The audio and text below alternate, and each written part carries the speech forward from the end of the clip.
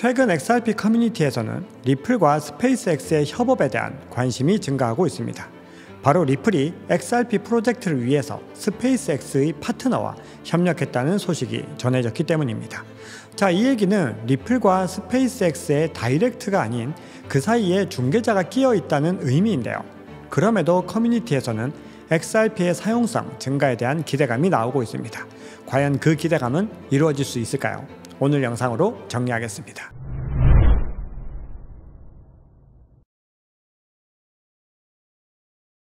네, 구독자 시청자 여러분 반갑습니다. 박 작가입니다. 요즘 가상자산 시장이 기대처럼 살아나지 않아서 힘드신 분들 많으시죠. 그래도 소중한 가족과 함께 모여서 행복을 나누는 한가위 추석이 다가오고 있습니다. 추석을 맞이하여 가족 같은 구독자 여러분과 조금 더 가까워지기 위해서 작게나마 소통의 자리를 마련했습니다. 구독자 여러분들이 저에게 물어보고 싶거나 궁금한 모든 것들을 남겨주시면 최대한 많은 질문을 골라서 영상으로 답변 드리려고 합니다. 가상자산 시장이나 투자에 관한 질문도 좋고 개인적인 질문, 가벼운 질문, 재밌는 질문 무엇이든 다 좋습니다. 질문하실 수 있는 링크는 댓글과 설명란에 달아두겠습니다. 여러분들의 많은 참여 부탁드리겠습니다. 자, 그러면 본격적인 이야기를 시작하겠습니다. 자, 일론 머스크가 X를 통해서 이루려는 큰 그림은 별도의 영상을 준비하고 있습니다. 그래서 오늘 영상은 이 XRP와의 연결 고리에 좀 더 집중해서 이야기를 해보겠습니다. 일론 머스크와 X의 공식적인 인연은 1999년으로 거슬러 갑니다. 당시 일론 머스크가 설립한 인터넷 은행의 이름이 바로 X닷컴입니다. 인터넷이 대중적으로 보급되기도 전인 20세기에 인터넷 은행을 구상했다는 건 엄청난 혜안이라고 볼 수 있습니다.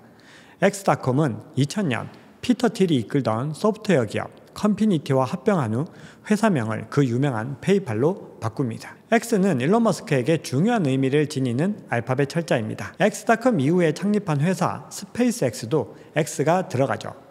테슬라를 대표하는 고급 SUV의 이름은 모델 X입니다.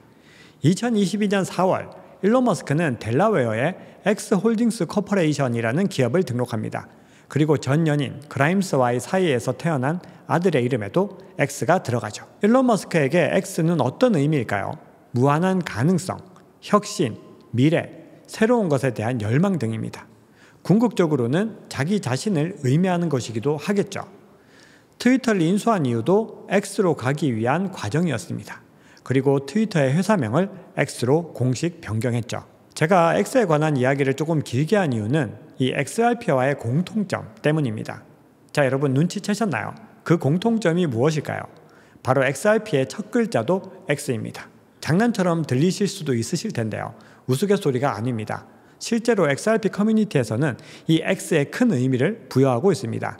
트위터의 이름이 X로 바뀌고 로고를 변경했을 때 이 XRP 커뮤니티에서는 뜨겁게 반응했습니다. 제 채널 댓글에서 이 XRP 커뮤니티가 마치 BTS의 팬클럽, 아미 같다고 말씀하신 분이 계신데요. 저도 일정 부분 동의합니다. 그만큼 XRP 커뮤니티는 모든 암호화폐 프로젝트 중에서 가장 결집력이 뛰어납니다. XRP 커뮤니티에서 활동하는 유명 트위터 인플루언서 XRP 크립토 울프는 XRP와 트위터의 이 X 로고를 비교해서 관심을 모았습니다. 다른 인플루언서는 일론 머스크가 올린 X에 R, P로 댓글을 이어 달기도 했습니다. 자, 여기서 끝이 아닙니다. 일론 머스크가 콘텐츠 제작자에게 광고 수익 공유를 시작할 수 있다고 밝히자 XRP로 지불할 수 있는지 물어보기도 했습니다. 바로 일론 머스크가 XRP를 채택하기를 원하는 것이죠. 일론 머스크는 지금까지 여러 암호화폐에 관심을 보여왔습니다. 일론 머스크의 도지코인 사랑, 모르는 사람이 아마 없을 겁니다. 비트코인에 대해서도 우호적인 목소리를 내왔습니다. 최근 스페이스X가 이 비트코인을 매도했다는 소식으로 BTC 가격이 크게 하락했지만 테슬라는 여전히 비트코인을 상당한 물량 보유하고 있습니다. 자, 이외에도 일론 머스크는 이더리움, 카르다노 같은 다양한 암호화폐에 대해서 직간접적으로 관심을 보인 적이 있습니다. 하지만 XRP에 대해서는 공개적으로 논평을 한 적이 없습니다. 다만 최근 SEC와의 소송 결과에 대해서는 간단하게 언급했죠. 더 크립토 오라클이 주최한 팟캐스트를 공유하면서 좋은 팟캐스트라고 칭찬했는데요. 해당 팟캐스트에는 리플이 SEC를 상대로 승리했다는 내용이 들어 있습니다. 자, 일론 머스크의 이 트윗에 대해서는 찬반 논쟁이 있습니다. XRP 매니아들은 일론 머스크가 XRP의 팬이고 이 트윗이 XRP에 대한 지지의 표시라고 해석했습니다. 하지만 다수의 사람들은 머스크가 이 사건에 관심이 있을 뿐 XRP의 지지와는 거리가 있다고 주장했습니다. 현재까지의 분위기로는 XRP 커뮤니티 측의 일방적인 구애에 더 가까워 보입니다. 물론 개인적인 생각인데요. 과거의 사례를 한번 보면 일론 머스크가 환경 문제로 인해서 테슬라에 대한 비트코인 결제를 중단하자 테슬라가 훨씬 적은 에너지를 사용하는 다른 암호화폐를 찾고 있다는 소문이 전해졌습니다. 그러자 XRP 커뮤니티의 존 디튼 변호사는 일론 머스크의 결정을 두고 리플과 XRP에 대한 최고의 광고 캠페인이라고 자평했습니다. 존 디튼 변호사는 요즘도 종종 일론 머스크를 거론하고 있습니다. 리플의 CEO 브래드 갈링하우스 빵형도 XRP가 비트코인보다 에너지 효율성이 만 배는 더 높다고 발언한 적이 있습니다. 자, 그러면 지금부터는 스페이스X와의 연결고리를 한번 보겠습니다. 자, 서두가 조금 길었는데요. 먼저 중요한 인물을 소개해야 합니다. 바로 제러드 아이잭먼이라는 사업가이자 민간 우주 비행사입니다. 제러드 아이잭먼은 2021년 9월 15일 스페이스X의 인스피레이션 4라는 프로젝트에 참여했습니다. 사상 최초로 민간인만으로 구성된 우주 비행 프로젝트였는데요.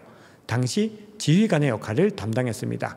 이 프로젝트는 3일 동안 지구 궤도를 돌고 무사히 귀환에 성공했습니다.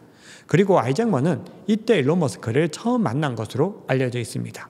올해 말에 발사될 예정인 민간 유인 우주 비행 임무 폴라리스 던에서도 사령관 임무를 맡고 있습니다.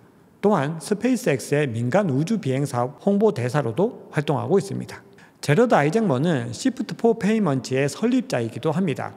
제러드 아이잭먼은 우주 비행사일 뿐만 아니라 성공한 사업가인데요. 민간 항공기 제공업체인 드라켄 인터내셔널의 설립자이고 결제 처리 업체인 시프트4 페이먼트의 설립자이자 CEO였습니다.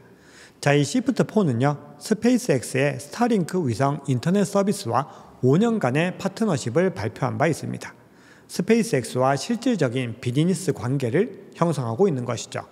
따라서 제러드 아이잭먼과 이 스페이스X는 상당히 깊은 유대 관계를 지니고 있는 건 분명해 보입니다.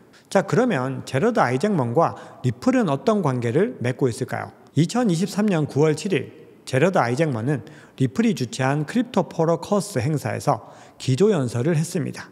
그리고 이 행사에서 리플과 아이잭먼은 파트너십을 맺고 마우이 화재 피해자들을 위한 기부금을 함께 모금했습니다.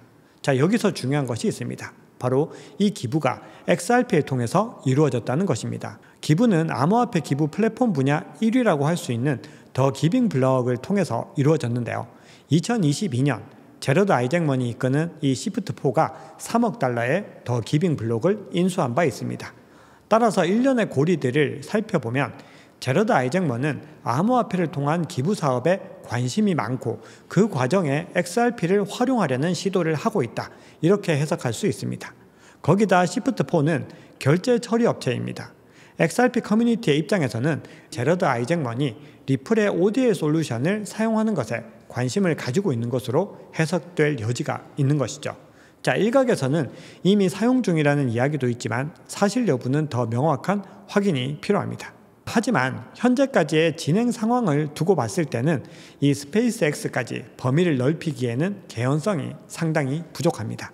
XRP 커뮤니티에서도 이번 제러드 아이잭먼과의 파트너십이 리플과 스페이스X 사이의 강력한 유대 관계를 확인하는 건 아니라고 인정하고 있습니다.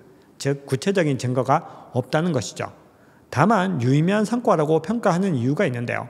이 제러드 아이잭먼의 중계로 스페이스X에서 XRP 결제가 이루어질 가능성은 조금은 남아 있다는 것입니다. 저는 지극히 개인적으로 이 XRP의 중앙화 요소로 인해서 일론 머스크와 함께 하기에는 제한되는 면도 분명히 있다고 보는 편입니다.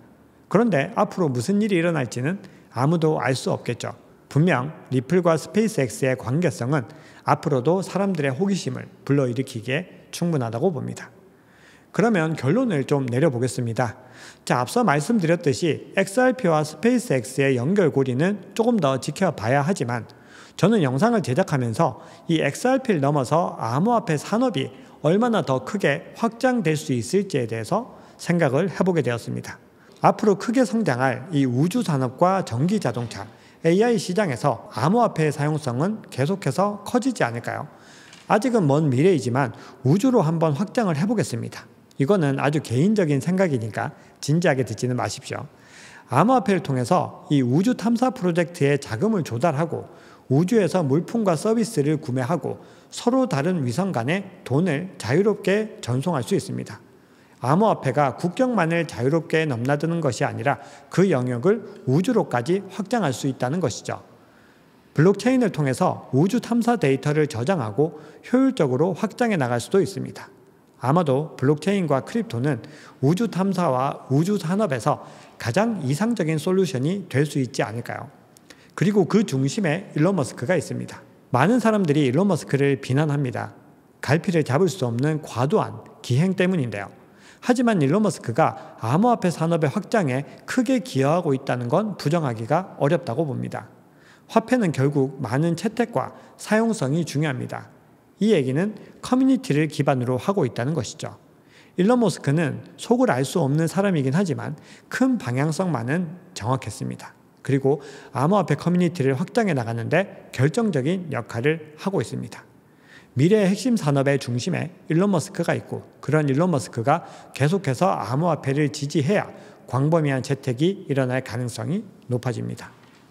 자, 앞으로 XRP와 스페이스X 그리고 테슬라와의 연결고리가 생겨날지 지켜보겠습니다. 오늘 준비한 이야기는 여기까지입니다. 시청해 주셔서 감사합니다. 지금까지 박 작가였습니다.